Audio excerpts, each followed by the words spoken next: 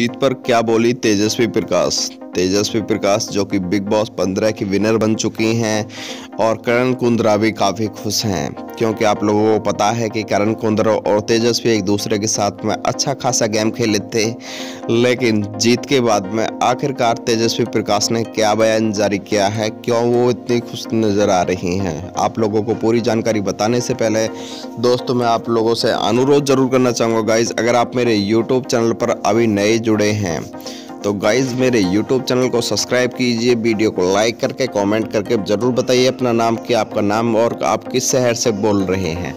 दोस्तों, आपको पता ही होगा कि तेजस्वी प्रकाश और करण कुंद्रा एक दूसरे के साथ में गेम खेलने में पहले से ही काफ़ी माहिर हैं और हाल ही में ही, अभी आपने देखा होगा कि करण कुंद्रा और साथ में तेजस्वी प्रकाश, जो कि एक दूसरे के साथ में बाहर भी देखने को मिल रहे हैं जा जाके इंटरव्यू दे रहे हैं।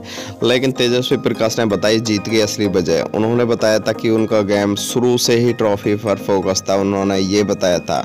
इधर बात की जाए तो प्रतीक सेजवाल इस समय काफ़ी दुखी नज़र आ रहे हैं, क्योंकि हकीकत में अगर ट्रॉफी के असली हकदार थे कोई तो वो प्रतीक सेजवाल थे। क्योंकि प्रतीक सेजवाल की अगर बात की जाए तो उन्होंने काफ़ी अच्छी मेहनत से गेम खेला है। और लोगों को भी पता है कि प्रतीक सेजवाल जब कोई गेम खेलते हैं तो उसे वाकई में जी जा, जान और लगन के साथ में खेलते हैं।